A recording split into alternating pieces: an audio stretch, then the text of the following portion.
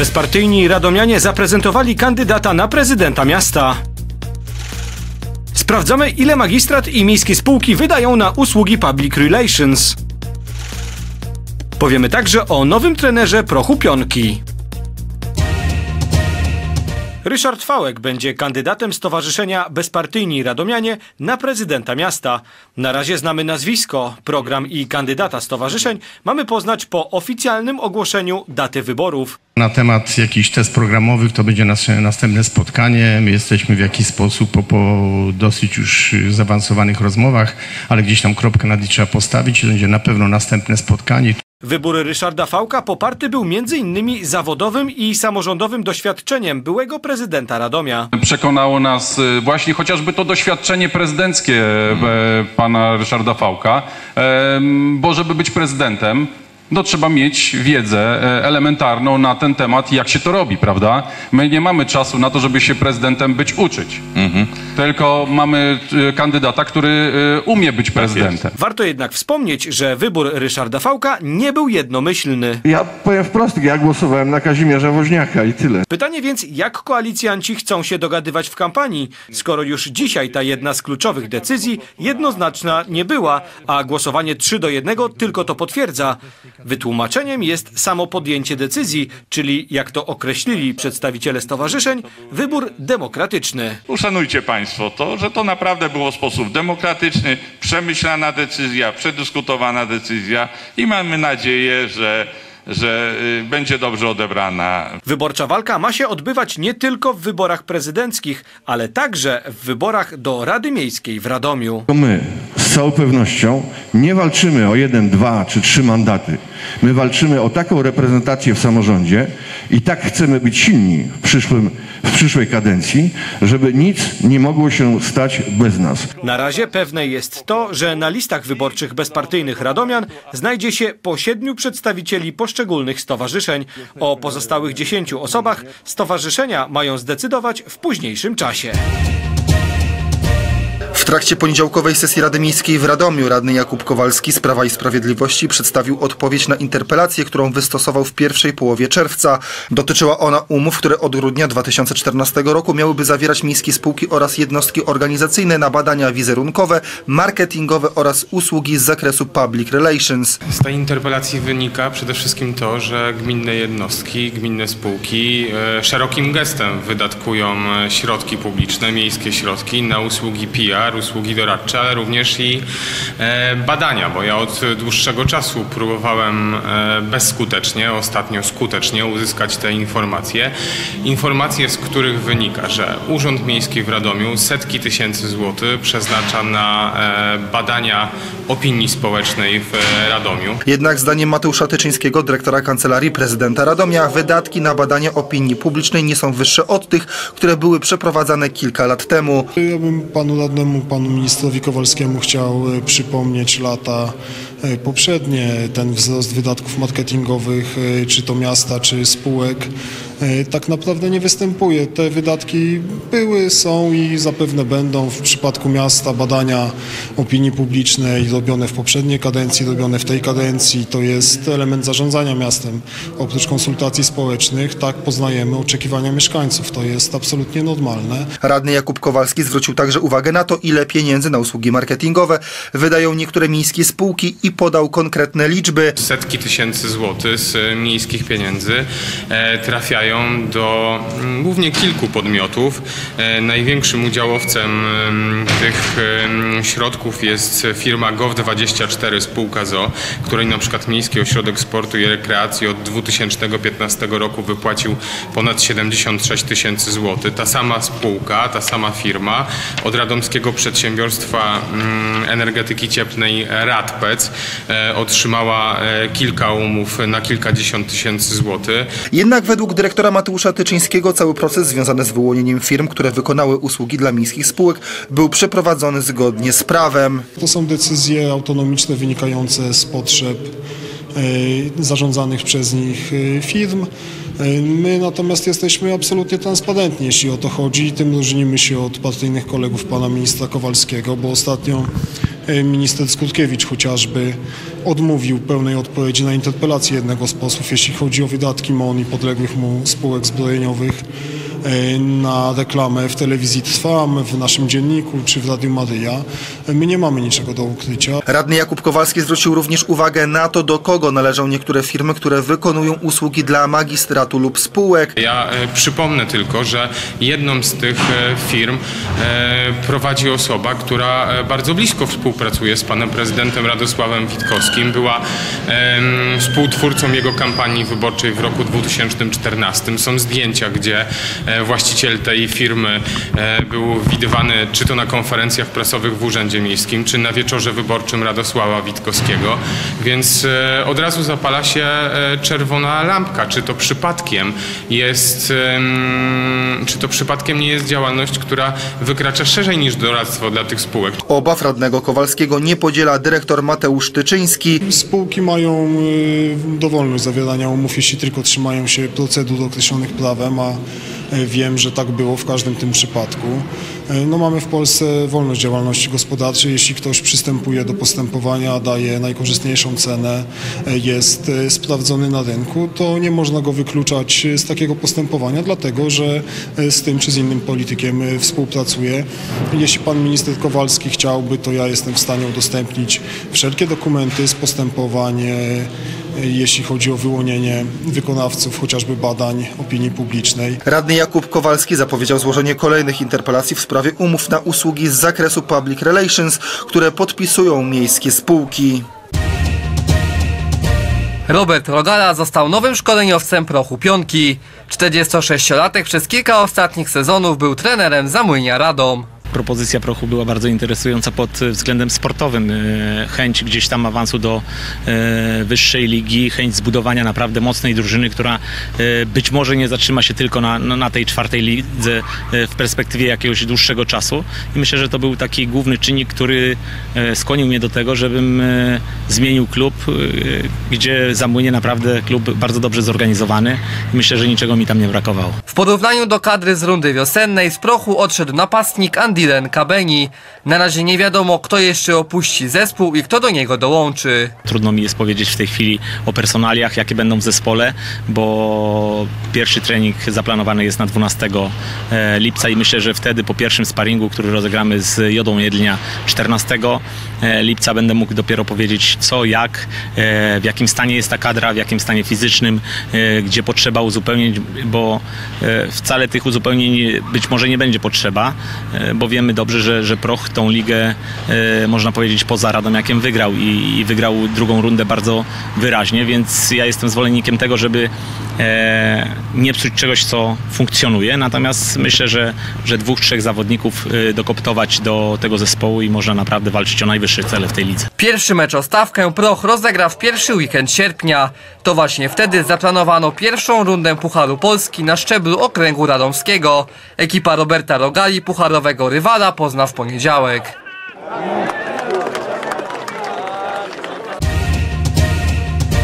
Za nami czwarta edycja letniego turnieju w Mirowie, którego organizatorem była miejscowa Akademia Piłkarska Gryfia.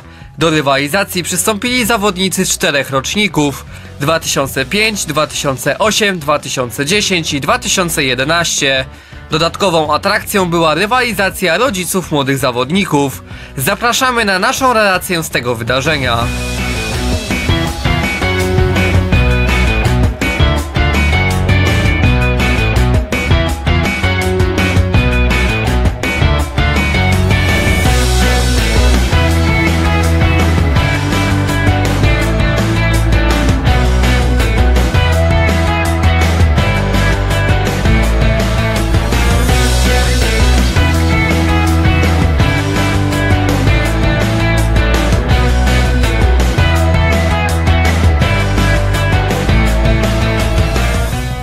Zorganizowaliśmy już czwarty turniej e, letni, gdzie było w tym roku już e, 20 drużyn dzieci i 8 drużyn e, rodziców. W tym byli e, trzy, trzy drużyny mam i pięć drużyny tatów. Myślę, że rywalizacja pomiędzy mamami była tutaj moim zdaniem y, bardzo dobra. Skąd w ogóle wziął się pomysł, bo to jest kolejna edycja, skąd wziął się pomysł, żeby po raz pierwszy tą, e, ten turniej zorganizować i, i co roku starać się go kontynuować? Znaczy tak, y, pomysł się wziął z tego, że powiedzmy w zimę organizujemy turnieje na hali, tak, tam gdzie, gdzie, gdzie rywalizuje się w grupach, później są półfinały, finały, a tutaj zrobiliśmy taki powiedzmy na zakończenie sezonu, roku szkolnego przed wakacjami, no, żeby dzieci tam przez wakacje nie zapomniały jak piłka smakuje. Jest, mamy teraz przerwę w lipcu, od sierpnia zaczynamy.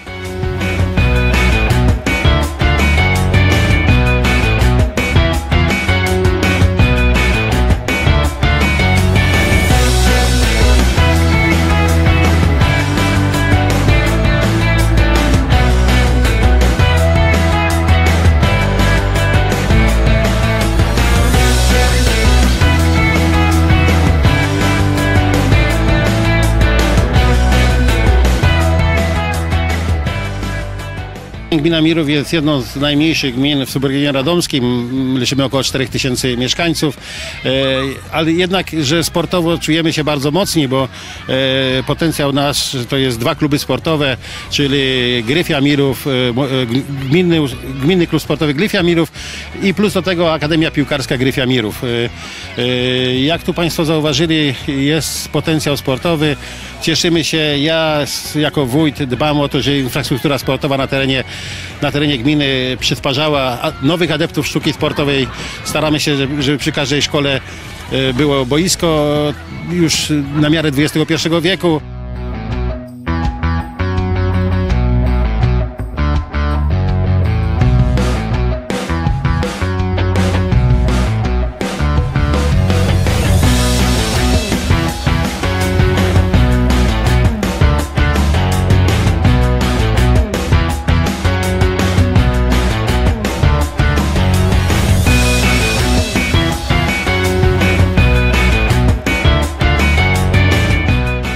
Pani Agnieszka, pani oceni te, te zmagania, ten turniej kobiet?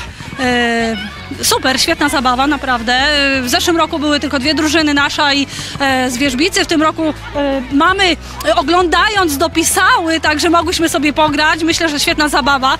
Pomimo tego, że zdarzają się jakieś tam kontuzje, upadki, ale po prostu nie poddajemy się i gramy.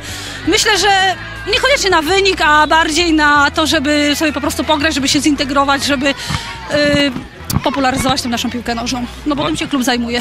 No właśnie, a jak pani oceni ten dzisiejszy turniej? Turniej, no świetna zabawa. Przede wszystkim nie gramy o miejsca. E, tak jak powiedziałam na początku, jakiś tam mały mundial e, nasz, e, ale po prostu chcemy wszystkich wyróżnić, wszystkich docenić. Zapraszamy zawsze. To jest czwarta edycja naszego turnieju. Dużo osób. No myślę, że, że wszyscy się świetnie bawią. No, raczej pozytywne opinie słyszymy. Przysz- chętnie do nas przyjeżdżają drużyny z okolic, więc no myślę, że jest świetnie.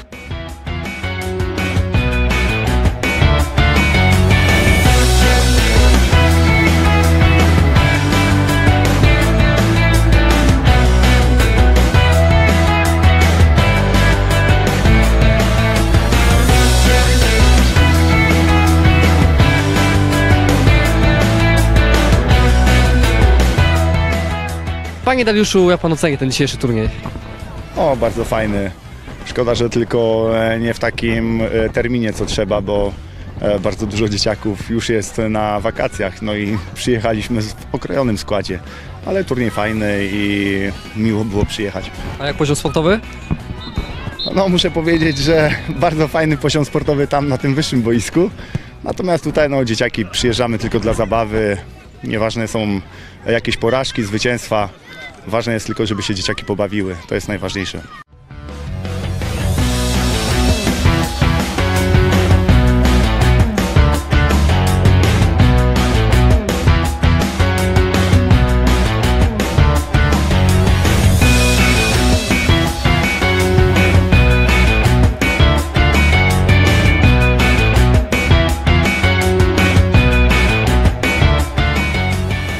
Chłopaki, jak oceniacie ten dzisiejszy turniej? Jak wam się grało? Dobrze. No dobrze, A dlaczego dobrze? bo wygraliśmy wszystkie mecze. Nie straciliśmy żadnej bramki.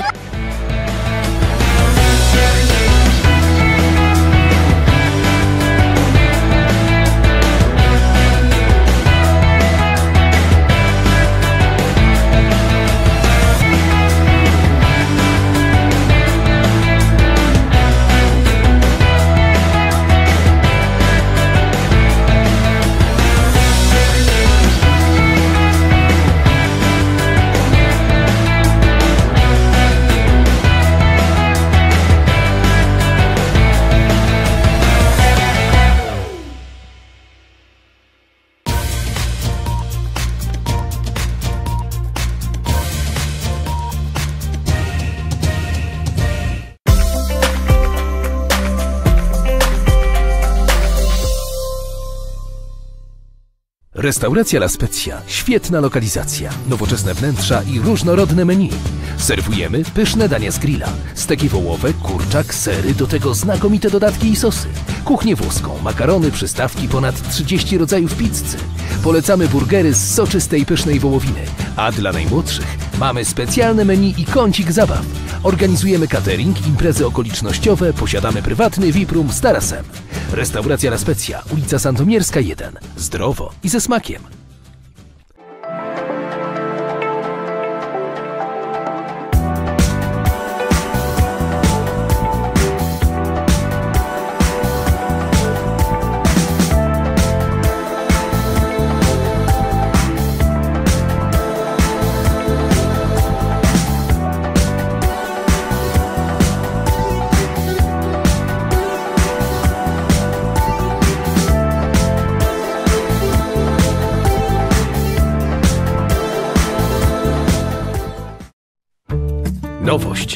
Automatyczne bramy garażowe.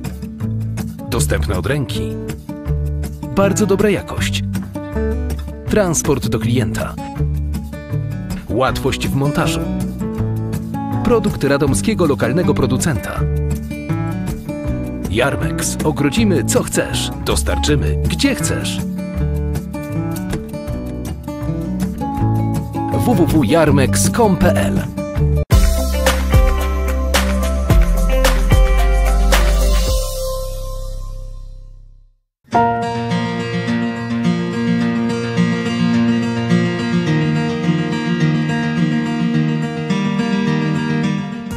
piątek w Radomiu na zmianę słońce i chmury i deszcz. W drugiej części dnia możliwe burze na termometrach do 28 stopni. W sobotę podobna aura, deszcz raczej przelotny, temperatura także nieznacznie niższa do 23 stopni. W niedzielę ponownie możliwe burze, słońca nie zabraknie, choć temperatura spadnie do 21 stopni, na termometrach w południe 1015 hektopaskali.